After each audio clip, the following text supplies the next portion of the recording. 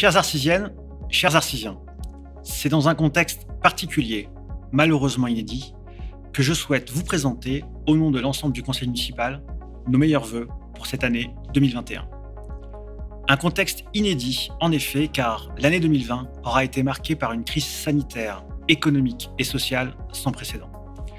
Mais durant toute cette période, durant toute cette année 2020, les Français, les Arcisiens, vous, vous êtes montrés particulièrement solidaires et cette solidarité nous permet aujourd'hui d'appréhender l'avenir avec beaucoup plus de sérénité. Même si nous sommes lucides et savons que les prochaines semaines, les prochains mois seront encore difficiles, la multiplication des tests et les premières vaccinations contre la Covid-19 nous permettent d'envisager l'avenir avec davantage d'optimisme. Et c'est bien dans cet état d'esprit d'optimisme que l'ensemble de l'équipe municipale et moi-même, nous voulons nous inscrire. Il nous semble en effet important de tourner la page de ces derniers mois, de cette difficile année que nous venons de traverser, pour avancer sur les grands projets de notre mandature. La gestion de cette crise sanitaire a lourdement impacté notre quotidien, nos activités et nos finances. Mais nous n'avons pas pour autant arrêté nos projets et l'accompagnement des familles arcisiennes. D'ailleurs, plusieurs projets ont déjà été menés à bien, comme le lancement de la révision de notre plan local d'urbanisme, qui aboutira courant 2021 et qui nous permettra de toujours plus protéger notre environnement, de continuer à réduire les hauteurs des bâtiments ou encore d'augmenter la part des espaces verts dans les différents projets. Nous avons également pu recruter dès le mois de décembre dernier deux nouveaux ASVP, nous permettant ainsi d'accroître la présence de notre police municipale sur le terrain au contact des Arcisiens pour continuer à davantage nous protéger. Nous avons aussi mis en place une mutuelle communale afin de renforcer la solidarité pour tous les Arcisiens. Comme je vous le disais, nous continuerons à avancer pour Bois d'Arcy tout au long de l'année 2021. J'aurai l'occasion de revenir un peu plus tard sur nos différents projets, mais si je suis ici devant vous aujourd'hui pour ces vœux 2021, c'est aussi parce que l'année 2020 aura été marquée par quelques changements politiques. Ces changements s'inscrivent dans la continuité et surtout dans le maintien de votre confiance envers notre équipe, envers nos projets. En effet, après la réélection de notre liste Bois avance aux élections municipales de mars 2020, vous avez confirmé votre soutien à Philippe Benassaya en lui accordant à nouveau vos suffrages lors de l'élection législative partielle organisée en septembre. En raison de la loi sur le non-cumul des mandats, notre député a été contraint de démissionner de son poste de maire. J'ai donc eu l'honneur de lui succéder en tant que maire de Bois d'Arcy en novembre pour poursuivre le travail d'embellissement et de modernisation de notre belle ville qu'il a initié depuis 2014. Alors, il est en direct avec nous depuis l'Assemblée nationale afin d'évoquer cette transition et aussi évoquer ses nouvelles fonctions. Bonjour Philippe Benassaya, bonjour monsieur le député. Bonjour Jean-Philippe, bonjour monsieur le maire, je suis très très content d'être avec vous pour euh, ces vœux. Bah, merci monsieur le député, moi je suis vraiment heureux de te retrouver aujourd'hui pour ces vœux à bois heureux de te savoir et fier de te savoir député de la 11e circonscription. C'est une chance, c'est un honneur de, de savoir que tu es à nos côtés, que tu es à côté des Arcisiens pour développer ces beaux projets et cette belle ville.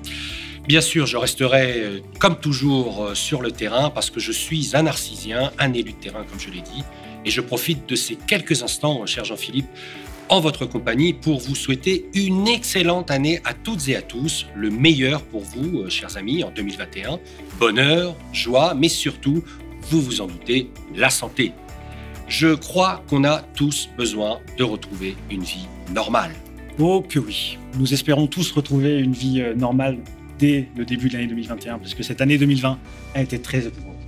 Oui Jean-Philippe, 2020 a été tellement riche en événements qu'il est bien difficile de tout résumer en quelques minutes. Alors je commencerai bien sûr par la confiance que vous nous avez accordée en mars dernier lors des dernières municipales.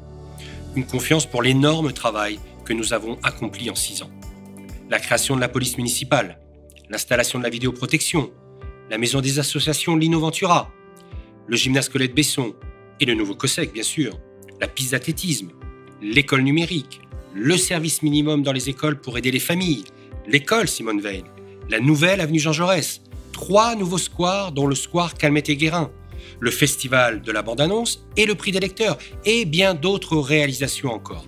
Et tout cela sans toucher à vos impôts. Alors cette confiance qui nous honore nous permet de poursuivre l'embellissement et la modernisation de Bois d'Arcy. Et tu vas, je sais, en parler dans un petit moment, Jean-Philippe. Je mesure la tâche de l'équipe municipale, mais son ambition est grande pour vous et pour notre belle ville.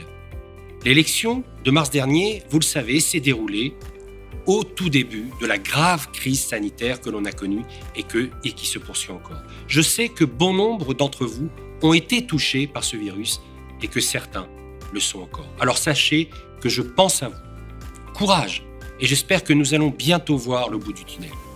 En tout cas, la municipalité a répondu présente pendant cette première crise du printemps dernier en achetant plus de 60 000 masques distribués en partie par les élus, pour vous tous, mais aussi pour les commerçants et les professionnels de santé. Sans oublier l'organisation que nous avons dû mettre en place dans les écoles selon un protocole sanitaire strict. La période a été compliquée pour les services de la ville, je le sais, qui ont fait un travail formidable et qu'ils en soient ici encore remerciés. Et puis, mes chers amis, il y a eu cette élection législative partielle, inattendue, et la mobilisation de tous pour que Bois d'Arcy ait un député qui représente les Arcisiens et l'ensemble des habitants de la 11e circonscription des Yvelines. C'est une chance, c'est une chance pour notre ville, on l'a dit, et c'est aussi un honneur pour moi d'être votre porte-parole. Les projets municipaux de la mandature seront portés et soutenus au plus haut niveau. J'ai déjà commencé à travailler sur les grands dossiers de la circonscription et de Bois d'Arcy, la sécurité, le soutien à nos forces de l'ordre et de secours, le soutien à notre personnel pénitentiaire, à nos commerçants, à nos artisans, le logement, la relance économique et bien d'autres sujets. Enfin, dernièrement, j'ai été choisi parmi 70 députés sur 577 pour siéger à la commission spéciale chargée d'examiner le projet de loi garantissant les principes républicains, ex-loi dite sur le séparatisme. Car la défense de la République est ma priorité et je sais que c'est la vôtre. Et puis, ce passage de témoin dans la foulée de mon élection au Parlement, avec un nouveau maire à la tête de cette équipe de Bois d'Arcy Avance, élu en mars dernier.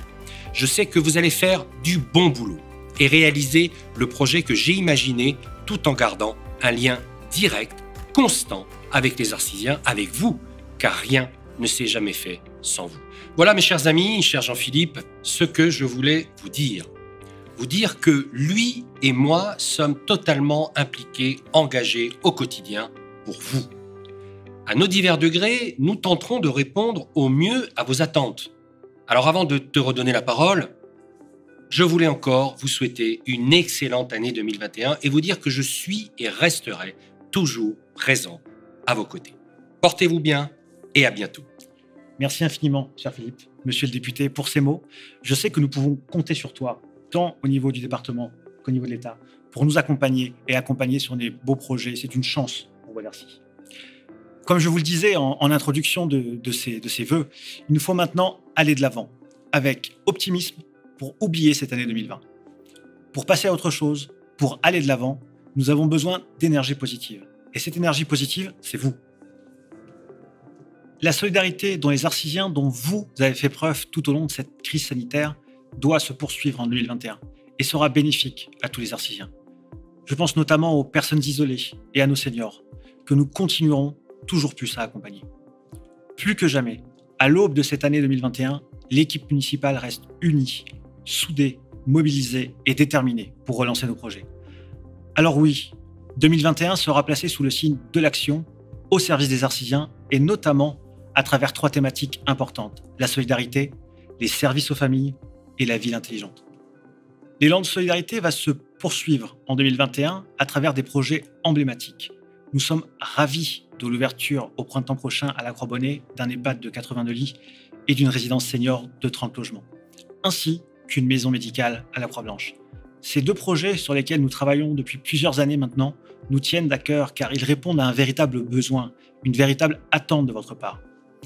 L'accompagnement de nos seniors sera aussi amplifié à travers des actions de proximité qui seront menées par le CCS avec les associations seniors arcisiennes.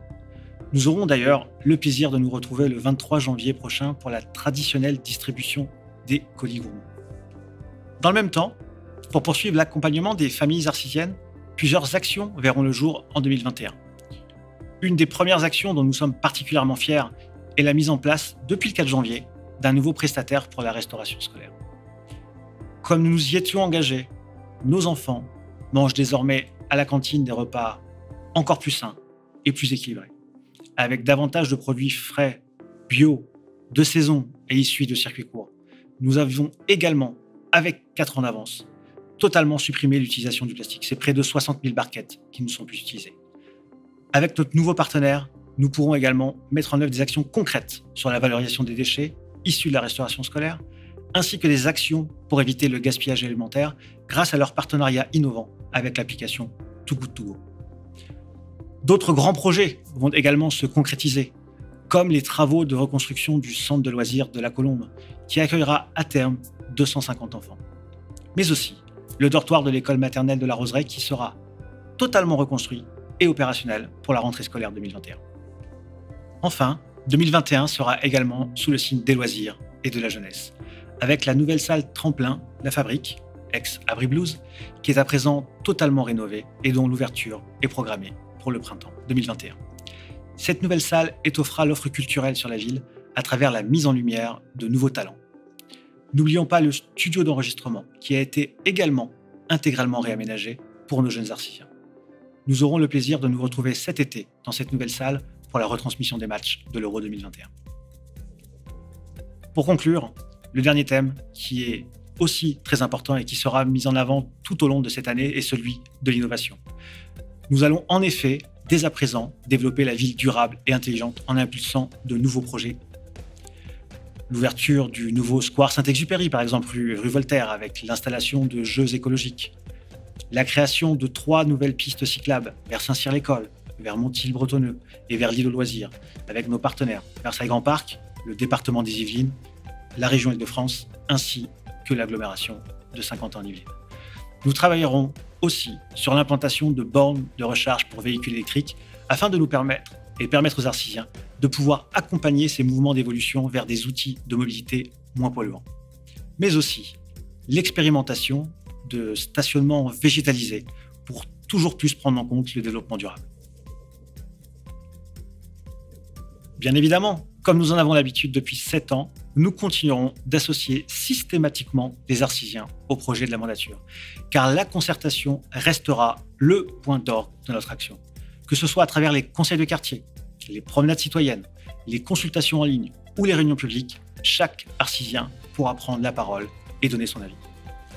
Vous continuerez à être les acteurs du quotidien, et encore plus en 2021, avec comme grande nouveauté la mise en place de budgets participatifs, où vous pourrez concrètement proposer des projets pour notre belle ville de Boilercy et prendre part à leur réalisation. Enfin, je tiens à souligner que pour la septième année consécutive, nous réaliserons tous ces beaux projets sans toucher à la fiscalité, car nous continuerons à appliquer une gestion saine de nos finances. Malgré les contraintes budgétaires qui pèsent chaque année toujours plus sur nos finances locales, notamment via le désengagement massif de l'État, nous continuerons à innover sans jamais renoncer. Je remercie d'ailleurs par avance tous les élus de la majorité qui s'investissent sans compter à mes côtés au service des artisans. Nous poursuivons avec la même énergie et le même enthousiasme les projets initiés par Philippe Benassaya, désormais député de la 11e circonscription. Nous comptons sur lui pour nous accompagner dans le cadre de ces nouvelles missions et par avance, nous le remercions pour sa fidélité à nos côtés. Une nouvelle fois, au nom de l'ensemble des élus, je vous souhaite à toutes et à tous une excellente année 2021. Mes chers amis, que cette année soit aussi l'occasion pour vous de réaliser vos projets personnels, pour pouvoir vous épanouir à Boilercy, une ville qui bouge, qui innove, qui évolue et s'embellit. Mais surtout, je vous souhaite beaucoup de bonheur et une excellente santé. Prenez soin de vous et de vos proches. Gardez confiance en l'avenir, il n'en sera que meilleur. Bonne année à toutes et à tous.